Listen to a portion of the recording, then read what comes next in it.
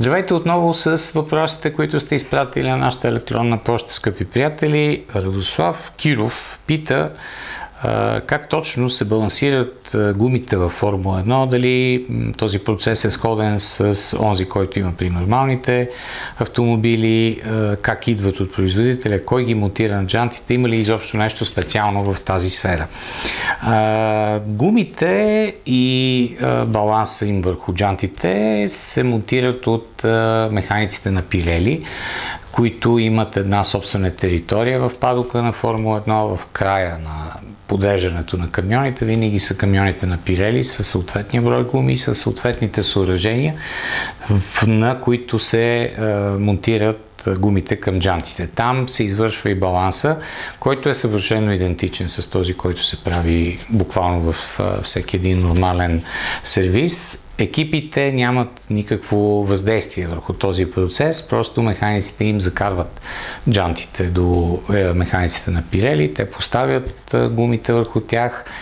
Това върху което могат да концентрират вниманието си в отборите, вече е налягането в гумите, по-скоро промяната в налягането на гумите, температурата преди излизането на пистата, тези елементи, които имат огромно значение за успеха. Знаете, че Пирели има все пак в момента изисквания за минимални налягания в всеки един състезателен уикенд в гумите. Също така има и изискване от страна на федерацията за температурите, до които могат да се нагряват съответните модели гуми. Тоест не може да бъде а, поставено одяло с много по-висока температура, това, което все пак е а, лимитирано. Така че тази посока не може да бъде направено нещо кой знае колко съществено от страна на отборите. Но а, има вече изключително много важни други компоненти, като примерно работата на спирачната система, конкретният тип барабан, който е избран за съответната писта, за да се отдели съответното количество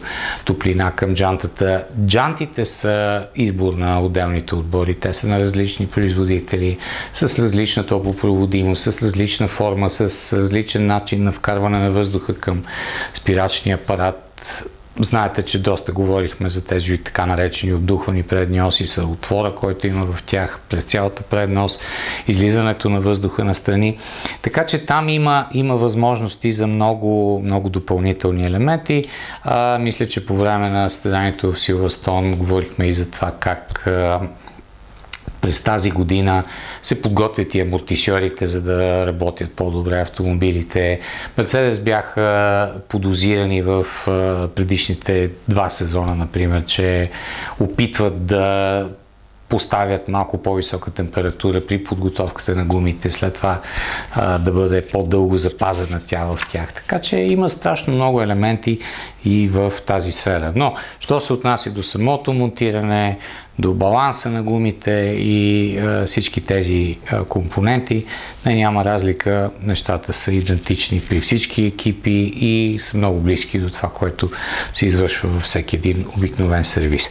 Благодаря за вниманието. Ще бъдем отново заедно скоро.